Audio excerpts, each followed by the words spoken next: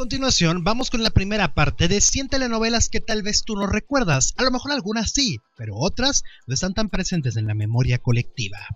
San Martín de Porres. Sí, este santo tuvo una telenovela, una telenovela de 1964 protagonizada por René Muñoz. Maximiliano y Carlota una telenovela histórica de 1965, basada por supuesto en la vida de Maximiliano de Habsburgo, interpretado por Guillermo Murray y producción de Ernesto Alonso. Cruz de Amor es una telenovela mexicana producida por Valentín Pimstein en 1968. La protagonista fue Silvia Derbez y han dicho que esta historia podría ser un refrito protagonizada por Victoria Rufo. La Cruz de Marisa Cruces, una telenovela mexicana que no hemos visto en retransmisión, por eso algunos no la recuerdan. Fue un éxito de Amparo Ribelles. La Llena también se ha comentado que posiblemente podrían hacer un refrito de esta historia. Se ha hablado de que la protagonista era Blanca Soto, pero no se confirmó. Ahora, esta producción fue de 1973, protagonizada por Amparo Ribelles. Los Miserables. Sí, antes de la producción que vimos en Telemundo el año pasado, esta telenovela se transmitió en 1973 basada en esta historia del gran escritor y dramaturgo francés Victor Hugo ha llegado una intrusa, una telenovela mexicana producida por Valentín Pinstein en 1974, protagonizada por Jacqueline Andere. Muchos no recuerdan, pero se hizo un refrito llamado Vida Robada de Erika Buenfil.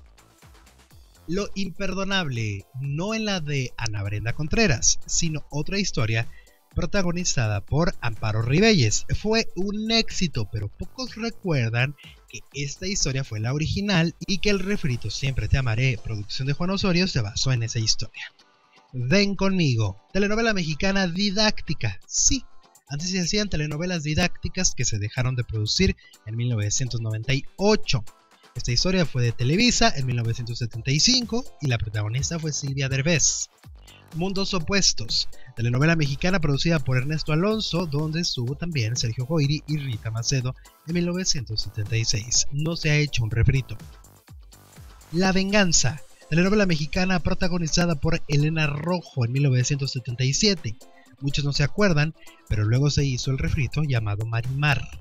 Domenica Montero, telenovela mexicana del 78, protagonizada por Irane Ori y Rogelio Guerra. Luego se hizo como la dueña. Santa, telenovela mexicana producida por Irene Sabido. Esta historia estuvo protagonizada por Tina Romero y está basada en la novela escrita por Federico Gamboa llamada Santa. Al Rojo Vivo, telenovela mexicana producida por Ernesto Alonso y protagonizada por Alma Muriel. Se hizo un refrito que no fue tan exitoso llamado El precio de tu amor.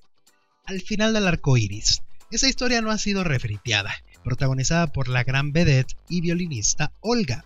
Y bueno, cuando los hijos se van, telenovela mexicana producida por Silvia Pinal. Sí, Silvia Pinal produjo varias telenovelas.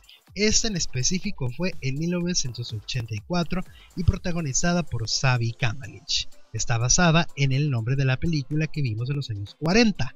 Aprendiendo a vivir, telenovela mexicana producida por Humberto Navarro, y dirigida por Rafael Banquels. Fue protagonizada por Julio Alemán. Tampoco han hecho un refrito. Eclipse. Sí, hubo una telenovela en el 84 en Televisa que se llamó Eclipse. La telenovela cuenta con las actuaciones de Silvia Pinal y Joaquín Cordero. Sí, mi amor. Exacto.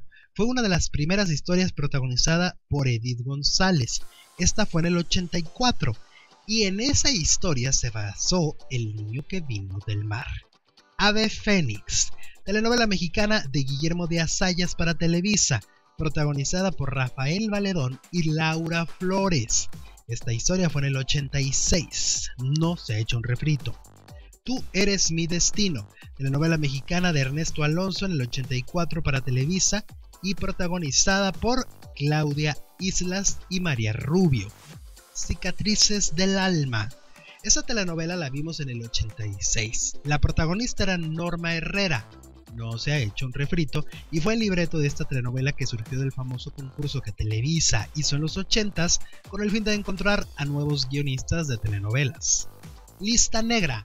Esta telenovela mexicana fue producida en el 86, protagonizada por el fallecido Eduardo Palomo y Luz María Jerez, con la actuación antagónica de Enrique Rocha, y eran cuestiones de luchadores, sí, de la lucha libre, y no se ha hecho un refrito.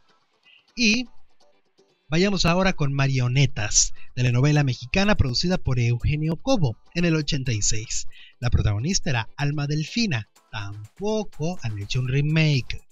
Y Seducción. Esta telenovela marcó el protagónico de Maribel Guardia en la televisión mexicana. Bueno, ahí están las primeras 25 de 100 que vamos a recordar esta semana. No recordar historias que tal vez tú no tienes tan presente en tu memoria. Ahí está. ¿Ustedes cuál recuerdan? ¿Algunas les sorprendieron? Dejen un comentario y nos vemos mañana.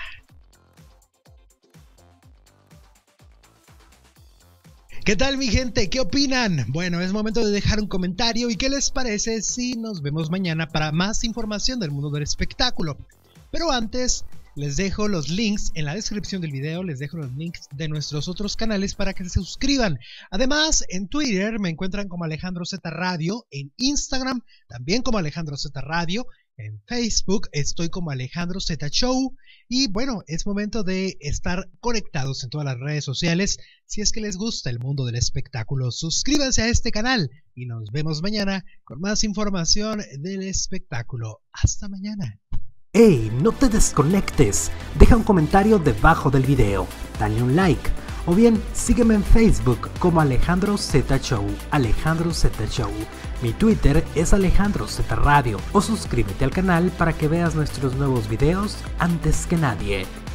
La información de los famosos en Alejandro Zúñiga presenta.